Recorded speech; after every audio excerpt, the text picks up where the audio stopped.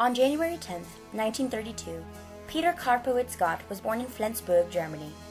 His father had friends in the United States, and once World War II ended, they offered an opportunity young Peter just couldn't pass up. They asked if one of the sons wouldn't like to go to America because they would like to sponsor one of us.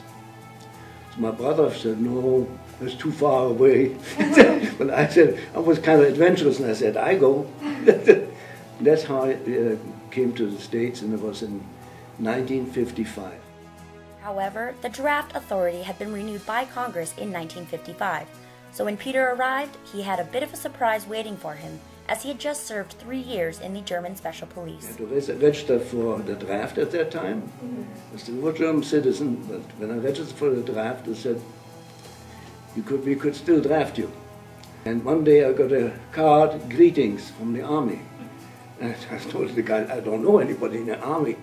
Sure enough, his draft number had been called. Luckily for the Air Force, Peter received some advice from a friend. He said, You have a choice. I take you to Cleveland, Air Force recruiting office. They took me there. I signed up. That's how I ended up in the Air Force. I said, What I'm doing with this greeting card, throw it away. Within days, he boarded a troop train to Lackland Air Force Base.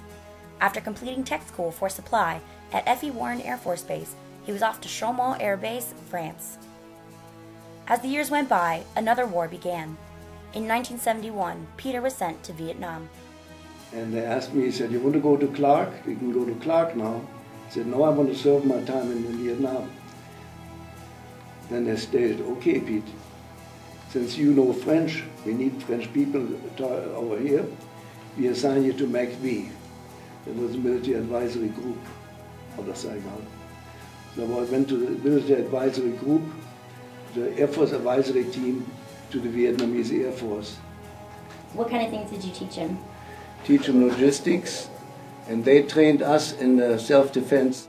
Years later, Peter and his family found themselves stationed at Ramstein Air Base.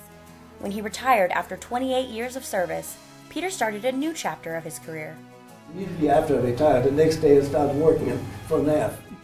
Reporting from Ramstein Air Base, I'm Airman Erika Moore. What emotions were you feeling when you became a U.S. citizen? Uplifting. I'm now part of a big free country in the U.S. Great feeling.